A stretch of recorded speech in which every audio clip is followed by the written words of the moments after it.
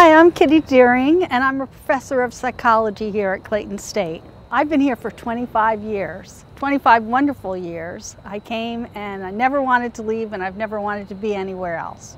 I've had the kind of flexibility and support to move my career along, and that's the kind of thing that you get at a small university, actually, I guess Clayton State is not a small university. We have about 7,000 students, but it feels like a small university because there is a real concern for the growth and the development of each person. It feels like a very caring community. Well, I love everything about teaching. Um, it's a very energizing process to interact with students in the classroom. Um, the students are very open to learning about psychology. I think people are naturally interested in psychology.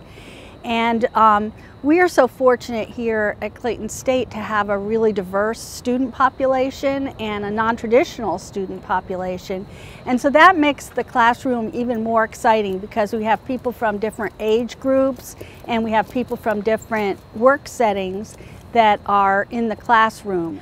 I'm working on three different articles right now. I'm uh, rewriting a textbook chapter for a new um, psychiatric nursing textbook that's going to be updated next year. And then I'm also working on an article for a journal that's on um, doing group supervision and the um, benefits of working with students in groups so that they can learn from each other. And then I'm also working on updating an instructor's manual for a health psychology textbook. So I always have several different writing projects going on and I love to write and I think it's really important to continue to stay in the literature and read the most recent research so that we can all stay sharp and we can give the best we can to our students.